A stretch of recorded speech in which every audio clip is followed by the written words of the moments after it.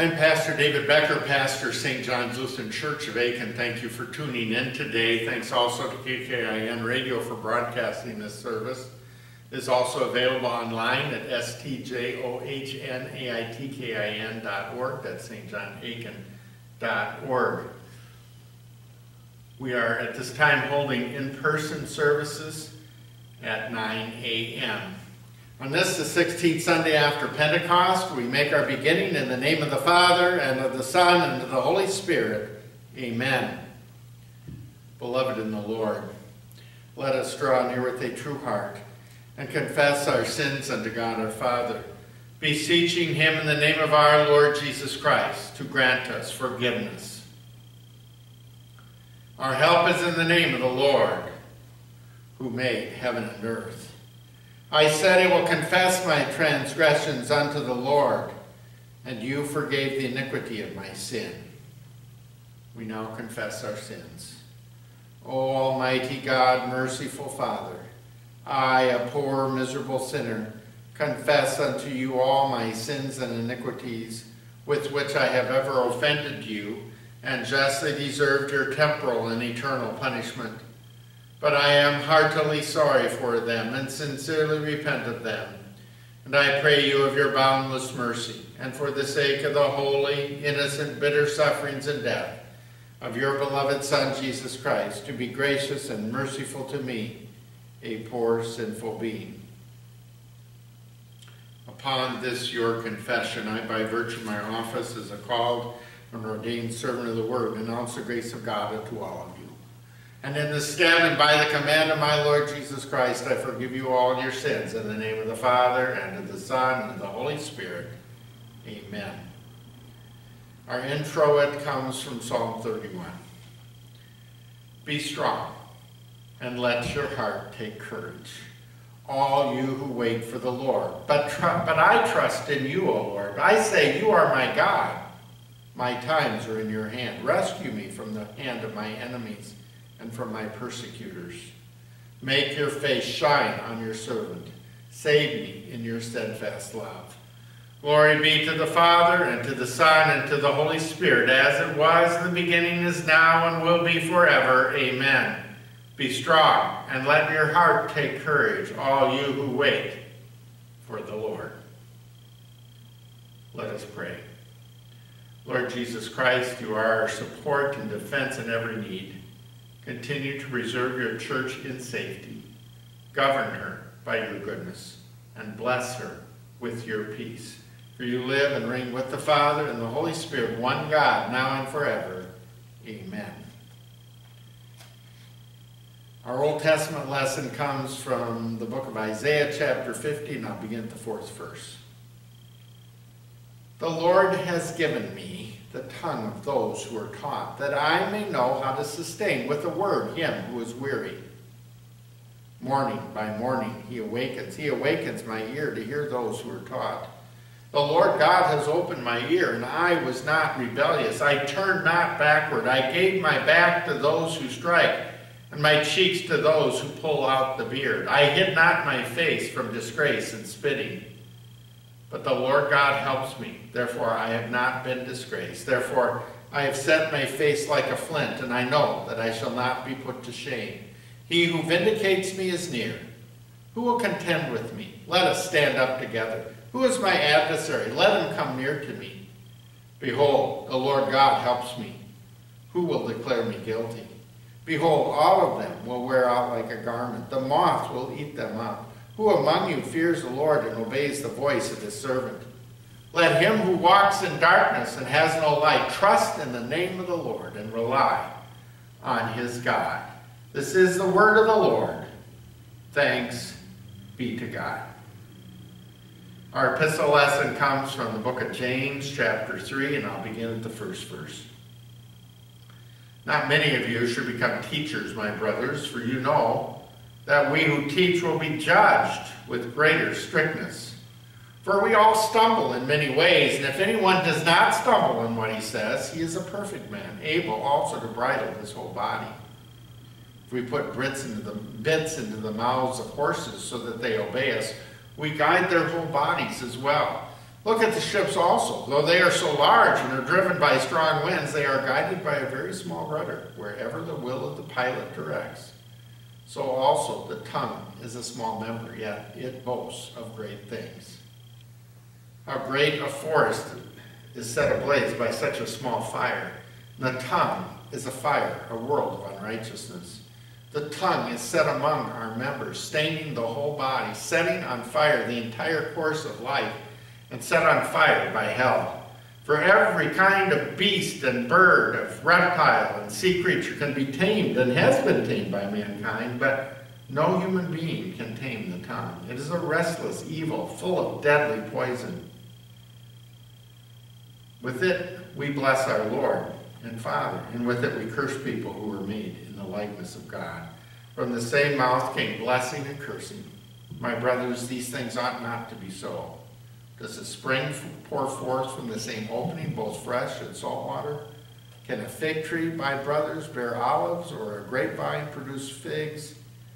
Neither can a salt pond yield fresh water. This is the word of the Lord. Thanks be to God the children's lesson today, I want to talk about um, some mean things that people sometimes say. Um, sometimes people say mean things about us. And, uh, it's probably happened to all of us. We don't like the mean things they say to us.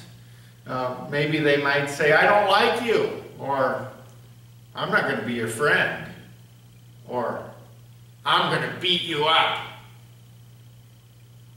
When somebody says mean things like that, it hurts. It hurts our feelings. Um, and sometimes what happens when people say mean things to us is that they do bad things to us. Um, they say something angry and then um, maybe they do beat us up or do other mean things to us. In the last lesson that I read from James chapter 3, verses 1 to 12, God tells us that mean talk is like a fire that starts burning. And, uh, you know, we've had fires out west and north of us and have been dealing with smoke. Um, and uh, some of those fires start just from um, perhaps a spark from a chain on a trailer or a cigarette butt that was thrown out of the window. Um, a little, a big fire can be started by a little fire. Well, the same can be said for what comes out of our mouths. That can start a big fire. Yesterday was the 20th anniversary of 911 when some people who were saying mean things about the United States actually did something, some things that were very mean. We call those people terrorists. They believed in a false God. They attacked America. They set huge buildings on fire and many people died. What they did was a terrible thing. What they did was a terrible sin. Sometimes when people sin against us, what do we want to do? We want to say mean things to them. We want to do mean things to them. But what we learned from our second lesson is that's not the way we should be. Um, God loves us. God loves all people. And uh, even when things do mean things, or when people do mean things to us, uh, that doesn't mean we should do mean things back to them. Um, when it comes to people who worship false gods, what do we want?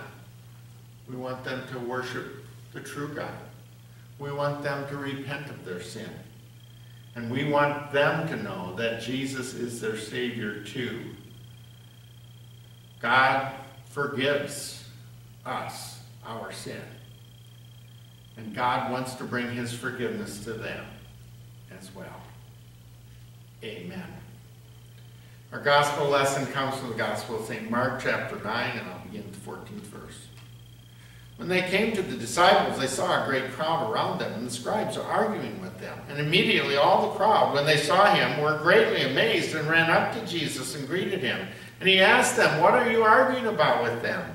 And someone from the crowd answered him, Teacher, I brought my son to you, for he has a spirit that makes him mute. And whenever it seizes him, it throws him down, and he foams and grinds his teeth and becomes rigid.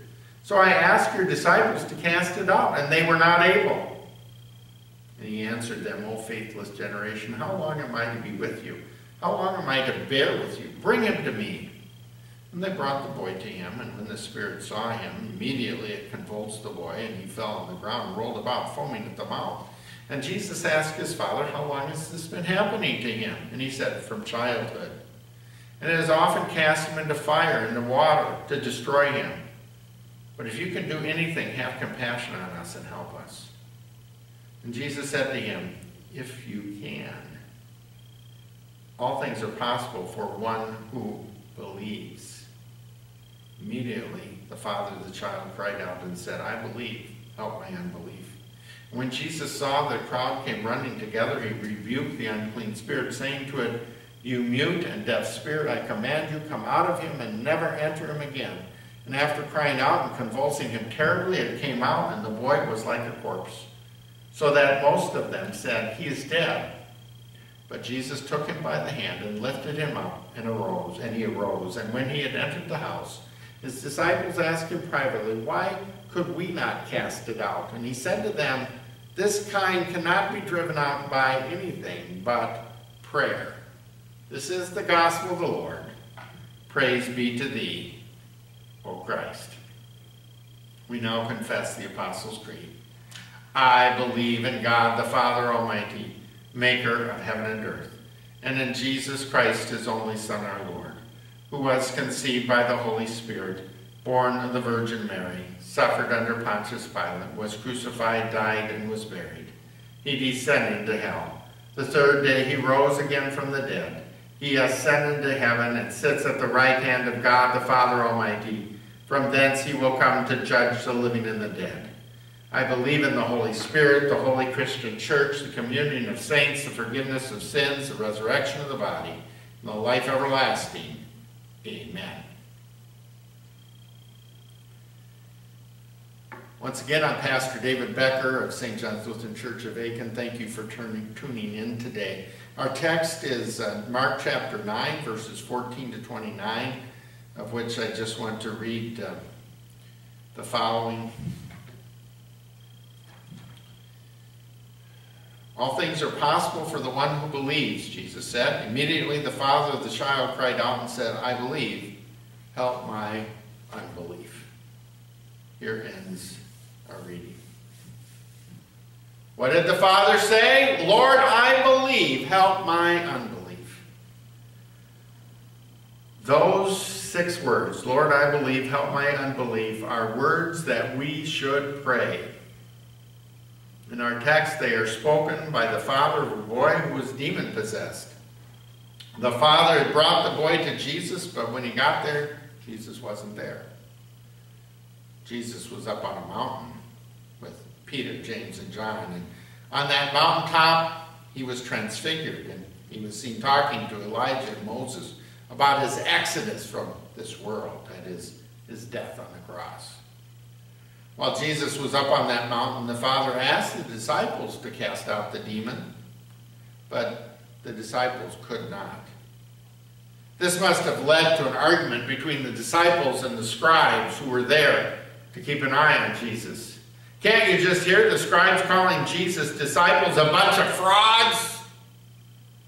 Can't you just hear the disciples responding back, We're no frauds? The back and forth might continue. You know, yes, you were frauds. No, we're not. And other mean things would have been said. When Jesus got there, he probably shook his head. As he said, O faithless generation, how long am I to be with you, and how long am I to bear with you? And after that, Jesus said, Bring me the boy. You see, Jesus puts the focus back on the child. It's the boy who is in desperate need. Jesus puts the focus back on the real problem. The real problem is a faith problem. A faith problem that's seen in the scribes, seen in the disciples, and seen in the boy's father. At least the father is honest. He's the one who prays, Lord, I believe, help my unbelief.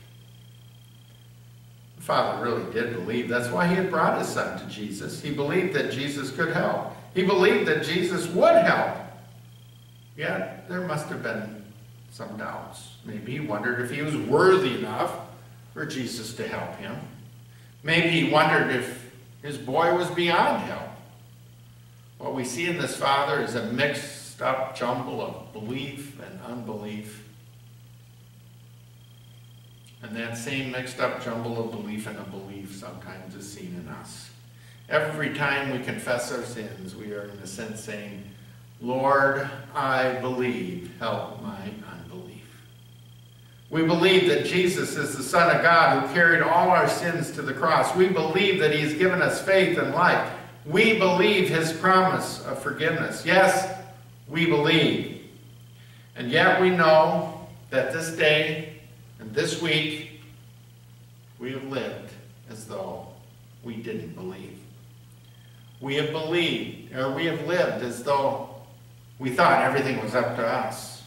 We've lived as though we are in competition with others instead of seeing others as people that God has put into our lives to help and care for. When trouble has come, we've doubted God's love and mercy. When things are going good, we've forgotten to give thanks to God. For that reason, our prayer should be the prayer that Father prayed, Lord, I believe, help my unbelief. So we see that the first person that Jesus helped was the Father. Jesus helped him to see his unbelief. That Jesus next turns to the boy. He rebuked the unclean spirit, telling him come out of the child. We are told that after that it came out, and the boy was like a corpse, so that most of them said, he is dead. But Jesus took him by the hand and lifted him up, and he arose.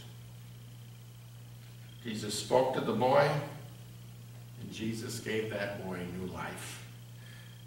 And Jesus does the same to us. Through word and sacraments, he rebukes the unclean, unclean spirit that is in each and every one of us and raises us up from being dead in sin to having new life in him. So that he could give this new life, Jesus came down from the Mount of Transfiguration.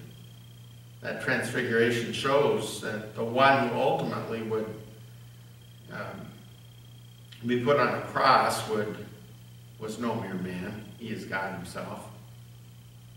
He is God himself who took our place on the cross. He died the death we deserve. Those who were there on Good Friday said, what? They said, he's dead. And he was. But on the third day he rose from the dead. He lives, and through faith in him, we also live. So even though that prayer, Lord, I believe, help my, my unbelief, will always be our prayer as long as we're here on earth, it need not be a prayer of despair, but a prayer of confidence and hope. As we live as saints and sinners on this earth, we can be assured that he will help us in our unbelief. We can be assured that he will forgive our sins. We, will be, we can be assured that he will help us to live out our faith. So do not despair. Do not doubt. Do not fear. Pray and keep on praying. Lord, I believe. Help my, my unbelief. Amen. And now may the peace of God, which surpasses all understanding, keep your hearts and your minds in Christ Jesus.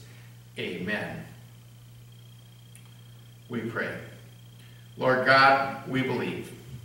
Help our unbelief. Sustain us through the many troubles and trials of this world, when unclean spirits afflict us and those that we love, revive, revive our trust in you. Gracious Lord, knowing that those who teach in the church will be judged with greater strictness, bless the teachers of our synod schools, colleges, seminaries, and our Sunday schools, confirmation classes, Preserve them faithful to your word that they may not stumble in what they say. Lord and Father, tame our tongues so that they are not a restless evil full of deadly poison. Turn them by your Spirit from cursing the people made in your likeness to instead blessing you. And keep us from stumbling in what we say. Almighty God, guard the tongues of our governing authorities that they may not stumble in what they say, but speak wisely and lead in accord to your will. Lord God, you have promised that all things are possible for the one who believes. In such faith, we bring before you all those that we now name in our hearts. And all others in need, asking you to grant them health and healing. All these things, and whatever else you know that we need, grant us, Father, for the sake of him who died and rose again and now lives and reigns with you and the Holy Spirit, one God, forever and ever. Amen. And we pray the Lord's Prayer. Our Father, who art in heaven, hallowed be thy name. Thy kingdom come, thy will be done on earth as it is in heaven. Give us this day our daily bread, and forgive us our trespasses, as we forgive those who trespass against us. And lead us not into temptation, but deliver us from evil. For thine is the kingdom, and the power, and the glory, forever and ever. Amen. Receive now the benediction. The Lord bless you and keep you. The Lord make his face shine on you and be gracious to you. The Lord look upon you with favor and give you peace. Amen. Once again, I'm Pastor David Becker of St. John's Lutheran Church of Aitkin. Thank you for tuning in today. I pray that you'll have a blessed week.